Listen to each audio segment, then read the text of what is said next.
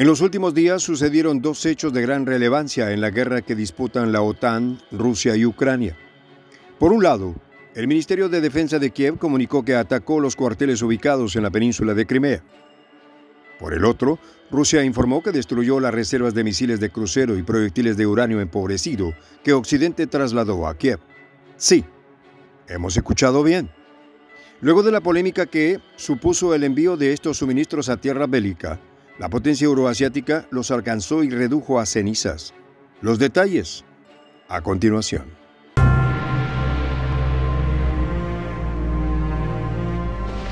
Voz de la Patria Grande. Las garras implacables de las Fuerzas Armadas de Rusia han desatado una ofensiva impactante una serie de 12 ataques que han estremecido los cimientos de Ucrania durante el periodo del 17 al 23 de septiembre. Amigos de prensa alternativa, estamos en condiciones de afirmar que estos avances no fueron simples asaltos, sino que se plantearon como una demostración de poder sin igual. Luego de que las tropas ucranianas atacaran Crimea, la Federación adoptó una nueva maniobra.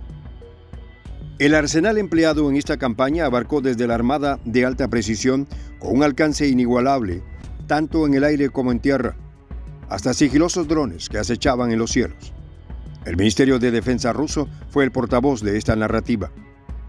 Según el propio organismo, los objetivos de esta tormenta militar se centraron en instalaciones estratégicas desde hangares de reparación de aviones y fortalezas blindadas hasta refinerías de petróleo.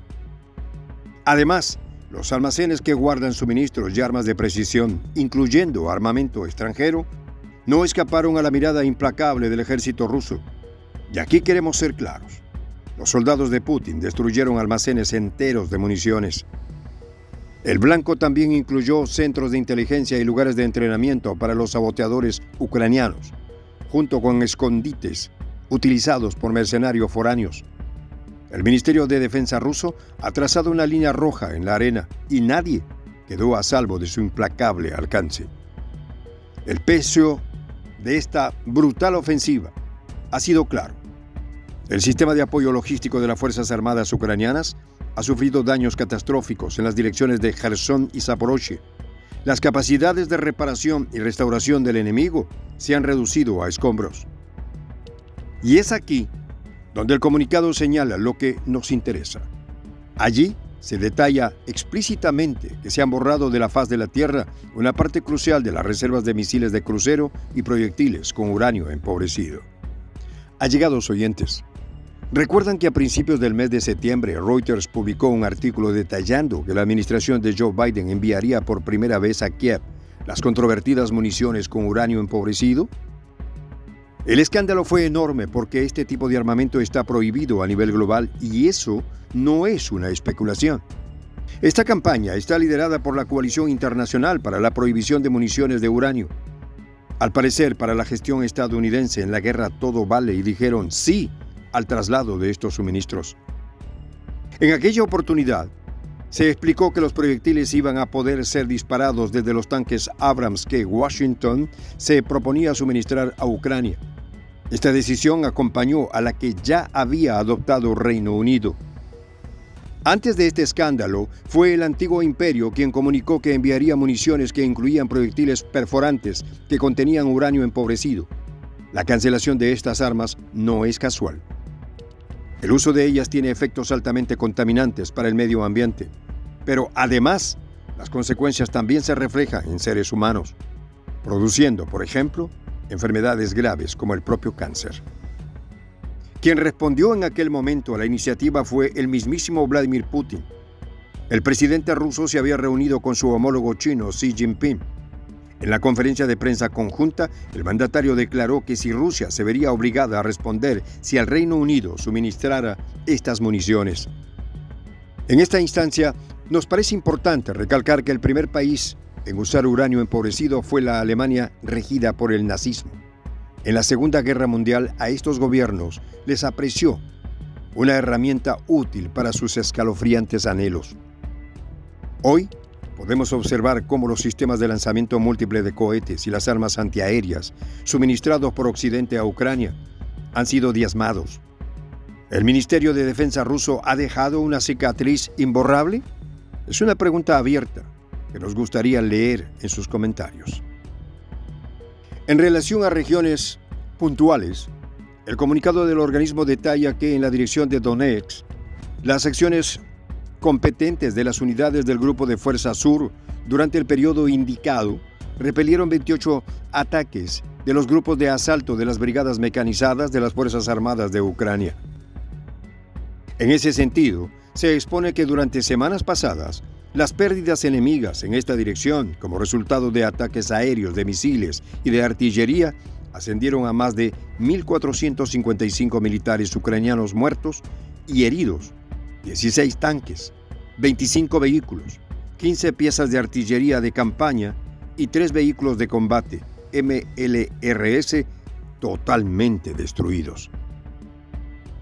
En lo que concierne a la dirección al sur de Donetsk, las unidades rusas, con acciones coordinadas, repelieron cinco ataques enemigos en el transcurso de una semana y continuaron derrotando concentraciones de efectivos y equipos de las fuerzas ucranianas.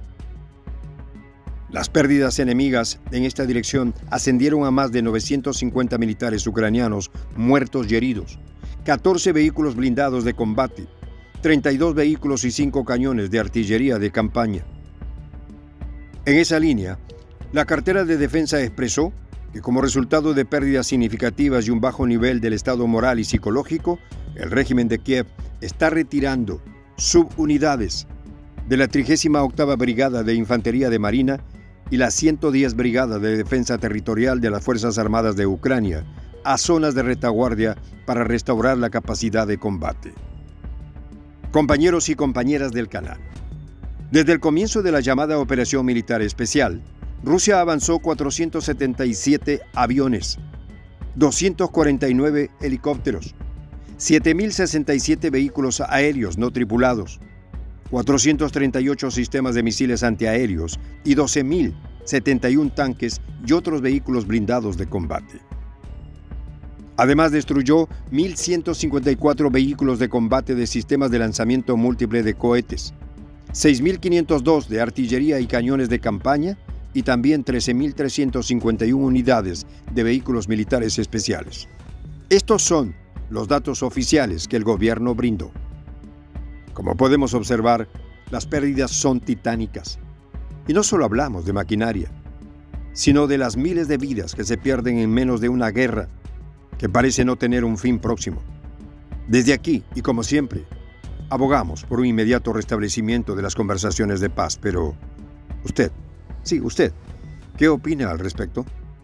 Soy el J, Juan José del Castillo, director del canal Prensa Alternativa si quieres ser parte de la comunidad de la Patria Grande, suscríbete a nuestro canal. Si es que quieres que te lleguen las notificaciones cada vez que subimos un video, activa la campanita. Si quieres apoyar a nuestro canal económicamente, puedes hacerlo a través de PayPal. El enlace está en la descripción del video.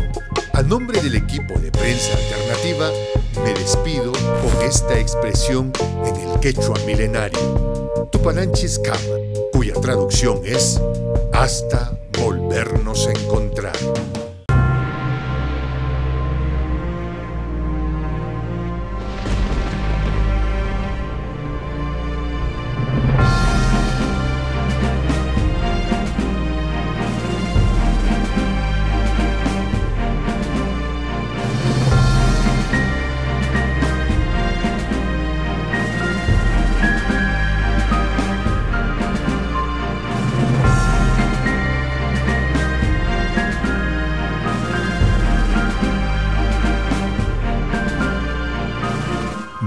De la Patria Grande.